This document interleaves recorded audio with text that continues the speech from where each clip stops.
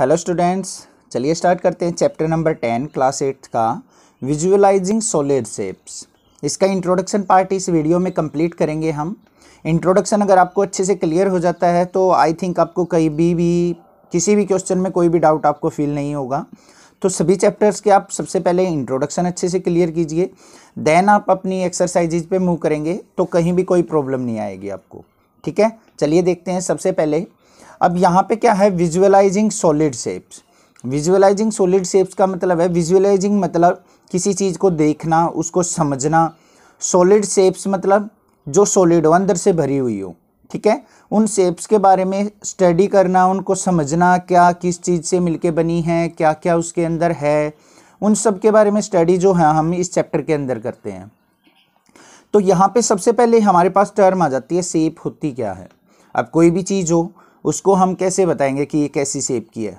उसकी आउटलाइन से देख के कि उसकी आउटलाइन किस तरीके की बनी हुई है। अब जैसे मान लिया ये ड्रॉ कर दिया मैंने, इसको देखते ही आप बोल दोगे कि सर सर्कल है, क्योंकि इसकी आउटलाइन को आपको दे, आपने देख लिया। अब जैसे मान लिया मैं ये फिगर ड्रॉ कर देता हूँ तो आउटलाइन से आपने ये देख लिया कि ये स्क्वेयर है। ये फिगर ड्रॉ कर दिया तो आपने आउटलाइन से पता लगा लिया कि ये हमारे पास क्या है कि रेक्टेंगल है। तो हम सेप की अगर डेफिनेशन की बात करें तो क्या करेंगे? ऑब्जेक्ट या फिर any object with outlines any object with outlines कोई भी ऑब्जेक्ट हो, उसकी आउटलाइन से हम क्या डिसाइड करते हैं, उसकी सेप डिसाइड करते हैं। अब हमारे पास जो है, दो तरीके की शेप हैं। एक तो प्लेन शेप होती है और एक सॉलिड शेप होती है। यहाँ पे लिखेंगे टाइप्स ऑफ़ शेप इसके अंदर हमारे पास आ जाती है, एक तो होती है प्लेन शेप और जो सेकंड जो होती है सॉलिड सेप हमने तो मेनली इनके बारे में पढ़ना है सॉलिड शेप्स के बारे में। तो यहाँ पे जो प्लेन शेप्स होती है, वो होती है हमारी टू डायमेंशनल और सॉलिड शेप्स जो होती है, वो होती है हमारी थ्री डायमेंशनल अब ये टू डायमेंशनल क्या होती है? थ्री डायमेंशनल क्या होती है? वो चीज़ मैं आपको बता देता हूँ। अब देखो टू डायमेंशन का मतलब होता है टू एक्सिज किसी भी चीज़ को डिफाइन करने के लिए अगर दो एक्सिस की रिक्वायरमेंट हो हमें तो उस ऑब्जेक्ट को हम कहते हैं कहते हैं टू डायमेंशनल ऑब्जेक्ट ठीक है? अगर मान लिया किसी चीज़ को डिफाइन करने में थ्री एक्सिस की रिक्वायरमेंट हो तो उसको कहेंगे थ्री डायमेंशनल अब ये एक्सिस क्या चीज़ है? देखो, हमने पढ़ी होंगी, ये हमारी क्या होता है? ओरिजेंटल एक्स एक्सिस होती है और वर्टिकल जो होती है, वो क्या होती है? वाई एक्सिस अब कोई भी ग्राफ वगैरह ड्रॉ करते हैं तो हमें एक्स की वैल्यू वाई की वैल्यू गिवन होती है इस तरीके से। टू कोमा थ्री या फिर आगे फर्दर आगे क्लासेस में भी हम क्या करेंगे? ग्राफ वगैरह ड्रॉ करेंगे। तो इस तरीके से पॉइंट गिवन होते हैं, ये एक्स की वैल्यू होती है, ये वाई की। तो यहाँ पे एक्स और वाई एक्सिस यूज़ कर रहे हैं हम किसी चीज़ को डिफाइन करने में। तो उसको कहेंगे हम टू डायमेंशनल अब थ्री के अंदर क्या होता है? थ्री एक्सिस तीनों एक्सिस का यूज़ होता है हमारा। थर्ड एक्सिज क्या होती है हमारी? वो भी देखते हैं। ये एक्स एक्सिज होगी, ये हमारी वाई एक्सिज होगी और एक थर्ड एक्सिज होती है हमारी जेड एक्सिज अब इसका एग्ज़ाम्पल मैं आपको बहुत अच्छा बताता हूँ कि आपको अच्छे से कैसे क्लियर होगा। जिस भी आप रूम में बैठे हैं या फिर आपके घर में जहाँ पे भी कॉर्नर है रूम का कॉर्नर देखो। कॉर्नर में क्या होगा? एक इस तरीके से एक्सिस गई है, एक इस तरीके से और एक ऊपर की तरफ़ गई है। ठीक है? जिसको हम कौन बोलते हैं? तो ये जो तीनों एक्सिस को डिफाइन करती है हमारी रूम की corner, X axis, Y axis और जेड एक्सिस। किसी को कैसे भी ले सकते हैं, कोई प्रॉब्लम नहीं है। तो तीन ऑब्जेक्ट, तीन एक्सिस किसी शेप को डिफाइन करती हैं तो उसको हम थ्री बोलते हैं। अब यहाँ पे क्या होता है? हमारे एक्स, वाई और जेड। तीनों पॉइंट हमें गिवन होंगे, जैसे टू थ्री फोर तो ये क्या होगी हमारी थ्री डायमेंशनल अब थोड़े से इनके फिगर की बात कर लेते हैं।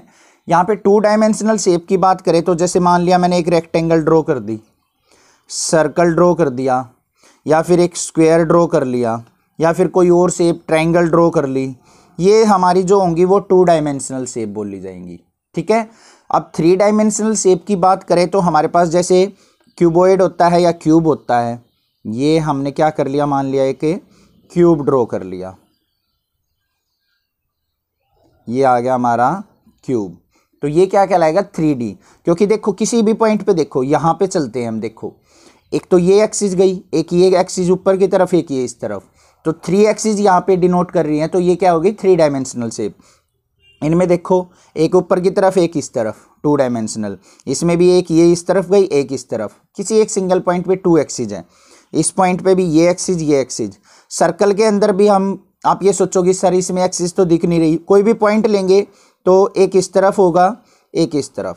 तो ये भी क्या होती है? हमारी टू डायमेंशनल शेप होती है। आई होप आपको टू और थ्री में अच्छे से डिफरेंस समझ में आ गया है। जो भी हमारी थ्री डायमेंशनल शेप्स होती हैं, वो सॉलिड शेप्स होती हैं। टू डायमेंशनल जो शेप होती हैं, उनको बोलते हैं हम प्लेन शेप ये आपको अच्छे से क्लियर होना चाहिए क्वेश्चंस बहुत इजीली आपको समझ में आने वाले हैं। ठीक है? अब देखते हैं हम व्यूज़ ऑफ़ शेप्स अब व्यूज़ ऑफ़ शेप्स का मतलब क्या होता है? कोई भी हमारे पास ऑब्जेक्ट है थ्री ऑब्जेक्ट उसके सामने हमारे पास जो तीन व्यूज़ बनते हैं, वो क्या हैं? एक तो फ्रंट व्यू होता है। फ्रंट व्यू मतलब हम सामने से किसी चीज़ को देखते हैं तो हमें कैसी दिखाई देगी? एक होता है टॉप व्यू। ऊपर से किसी चीज़ को देखेंगे तो कैसी दिखाई देगी? एक होता है हमारा साइड व्यू। मतलब साइड से अगर उसको देखें तो हमें कैसी नज़र आएगी वो? तो यहाँ पे मैंने एक एग्ज़ाम्पल लिया है, हमने एक हट ड्रॉ कर ली यहाँ पे।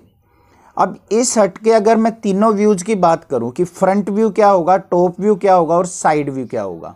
ठीक है? तो ये व्यू क्या है हमारा? देखो, अगर इस हट को मैं सामने खड़ा होकर देखता हूँ तो मुझे ये पोर्शन नज़र आएगा इस हट का। तो इसको हम क्या बोल देंगे अपना? फ्रंट व्यू मतलब सामने से नज़र आने वाला।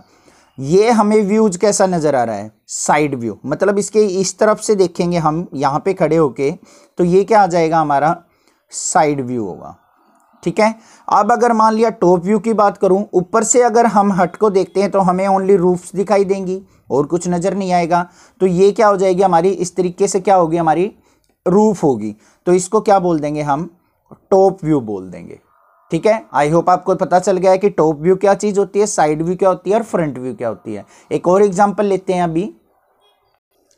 ये मेरे पास एक टोय है, ठीक है? कार है एक छोटी सी। अगर मेरे सामने ये ऐसे खड़ी है, अगर मैं बोलूँ कि फ्रंट व्यू क्या होगा इसका तो यहाँ से देखने के बाद जो मुझे नज़र आ रहा है पोर्सन ये इसका जो सामने ग्लास होगा, ये, इसका जो सामने बोनट है, ये ये वाला पोर्शन है जो मुझे सामने से क्लियरली विजिबल होगा। तो इस व्यू को हम बोल देंगे फ्रंट व्यू ठीक है? टॉप व्यू क्या होगा? अब देखो, ये गाड़ी ऐसे खड़ी है। अब आपको क्या है? ऊपर से नज़र आ रहा है इसका ऊपर का हिस्सा। जो ऊपर से नज़र आएगा, बिल्कुल सारा का सारा हिस्सा, वो क्या कहलाएगा? हमारा टॉप व्यू अब इसके साइड में तो आपको नज़र नहीं आ रहा है। तो इसको हम ऊपर वाले हिस्से को बोल देंगे टॉप व्यू। अगर मैं साइड व्यू की बात करूँ तो देखो इसको ऐसे करते हैं, देखते हैं। इसको ऐसे कर दिया, मान लिया। और मैं यहाँ से देखूँ इसको सामने से। तो मुझे कौन सा पोर्सन दिखाई देगा? ये वाला पोर्सन तो ये क्या हो जाएगा हमारा? Side view of the car होगा। आपको ये अच्छे से पता चल गया है कि फ्रंट व्यू क्या होता है साइड व्यू क्या होता है टॉप व्यू क्या होता है।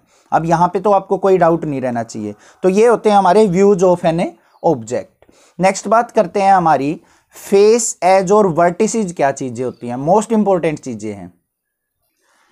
अब हमारे पास आता है फेस क्या होता है, एज क्या होता है और वर्टिसीज क्या चीज़ें होती हैं। हम वर्टिसीज को वर्टेक्स भी बोलते हैं। अगर आपने ये चीज़ें समझ ली कि फेस क्या होता है, एज क्या होता है, वर्टेक्स क्या होता है तो हमारे इस जो चैप्टर के हैं ना, मोस्टली क्वेश्चन आपसे ईजिली हो जाएँगे। तो सबसे पहले बात करते हैं हम फेस। फेस का मतलब होता है जो हमें सामने का पोर्सन होता है हमारा। ठीक है, किसी भी ऑब्जेक्ट का। सामने का पोर्शन हो गया साइड का हो गया टॉप व्यू हो गया बैक व्यू हो गया, नीचे से अंडरग्राउंड हो गया लेफ़्ट राइट जो व्यूज़ होते हैं, वो हमारे क्या कहलाते हैं? फेसिज कहलाते हैं। अब जैसे मान लिया मैंने यहाँ पे एक क्यूब ड्रॉ किया है तो क्यूब के अंदर क्या होगा? देखो, ये वाला जो पोर्सन है, ऐसे बनाते हैं इसको, सामने से। ठीक है, ये क्या कहलाएगा? हमारा फेस होगा। इस साइड से बात करूँ मैं तो ये वाला फेस ठीक है ऊपर से बात करें तो ये वाला फेस ये भी फेस है हमारा।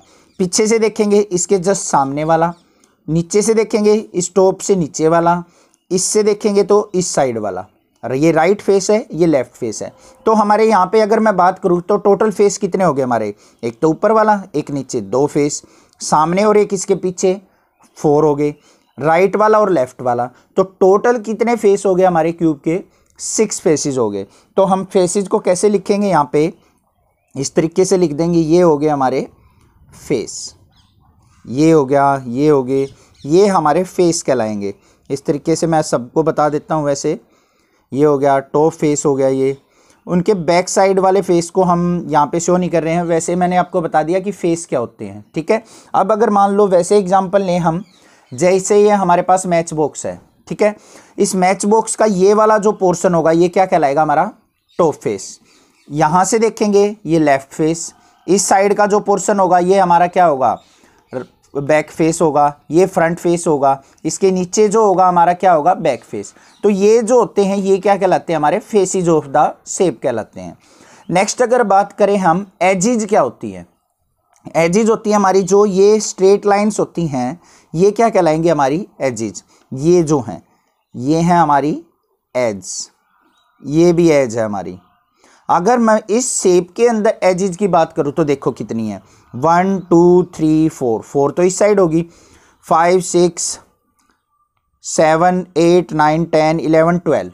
तो टोटल इसके अंदर एजिज कितनी है? ट्वेल्व। अब जैसे ये मैच बॉक्स है तो ये वाला जो है, ये ये क्या कहलाएगी? हमारी एज ये भी एज है। ये भी एज है। ये एज है। एज आपको पता चल गई, एजिज क्या होती हैं जिनसे हमारी शेप बनी हुई होती है। नेक्स्ट बात करते हैं हम वर्टिसीज क्या होते हैं? वर्टिसीज होते हैं हमारे ये पॉइंट्स जहाँ पे हमारी एजिज मिलती हैं। यहाँ पे मैंने राउंड राउंड कर दिया है इसको तो यहाँ पे ये क्या कहलाएँगे हमारे? वर्टिसीज भी कह सकते हैं हम इनको, और कई जगह इनको वर्टेक्स भी बोला जाता है। क्या बोल सकते हैं इनको? वर्टेक्स भी बोल सकते हैं और वर्टिसीज भी।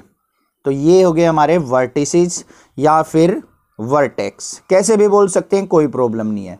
अब अगर मान लो क्यूबोइड के अंदर मैं वर्टेक्स की बात करूँ तो कितने हैं? तो टोटल एट वर्टेक्स हैं हमारे किसके अंदर? क्यूबोइड के अंदर।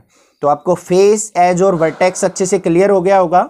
अब फेस एज और वर्टेक्स के बेस पे हमारे पास आता है कि यूलर फॉर्मूला मोस्ट इंपॉर्टेंट चीज़ है इस चैप्टर की यूलर फॉर्मूला अब यूलर फॉर्मूले के अंदर होता क्या है? वो चीज़ें सुने आप। जो हमारे किसी भी सॉलिड शेप के फेस प्लस में उसके वर्टेक्स अगर उनमें से हम एजिज को सब्ट्रैक्ट कर देते हैं तो हमारे पास वैल्यू आएगी हमेशा टू के इक्वल फेस और वर्टेक्स को ऐड करना है एज को सब्ट्रैक्ट कर देना तो टू वैल्यू आनी चाहिए, ठीक है? तो वो हमारी सॉलिड शेप पॉसिबल होती है। फेस को हम कैपिटल एफ़ से लिख लेते हैं वर्टेक्स को कैपिटल वी से लिख लेते हैं एज को minus E is equal to किसके? टू के। तो हमारे पास यूलर फॉर्मूला जो होता है, वो ये फॉर्मूला होता है। अब अगर मैं बात करूँ इसकी क्यूबोइड की तो अगर मैं ये चेक करना चाहता हूँ कि आ ये क्यूबोइड हमारी पॉसिबल है या नहीं है। तो सबसे पहले हम फेस देखते हैं इसके अंदर कितने थे। अभी काउंट किए थे हमने, ये फ्रंट ये बैक ये साइड ये लेफ़्ट लेफ़्ट साइड ये टॉप ये बेस सिक्स फेसिस हो गए हमारे सिक्स आ गए। उसके बाद है एजिज की बात करें तो एज हमने काउंट की थी one, two, three, four, five, six, seven, eight, nine, ten, eleven और ट्वेल्व। तो टोटल एज जो है वो कितनी है हमारी? ट्वेल्व। वर्टेक्स की बात करें तो ये रेड डॉट देखो कितने हैं। फोर ऊपर, फोर नीचे।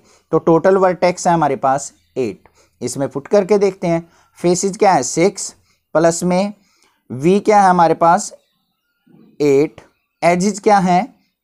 ट्वेल्व सिक्स प्लस एट क्या हो गया हमारा? फोर्टीन माइनस में twelve is equal to, fourteen minus twelve कितना हो गया? टू। तो टू इक्वल टू टू आ गया हमारा। तो क्या है ये एक हमारी सॉलिड शेप पॉसिबल है। आई होप आपको पता चल गया है कि faces plus vertex minus edge is equal to किसके होते हैं? टू के इक्वल होते हैं। तो ये था हमारा इंट्रोडक्शन ऑफ़ दिस चैप्टर अगर कहीं पे कोई डाउट अगर आपको लगता है तो मुझे कमेंट कर सकते हैं। अदरवाइज़ इस चैनल को सब्सक्राइब करें लाइक करें और शेयर करें। Thank you students for watching this video. Thanks.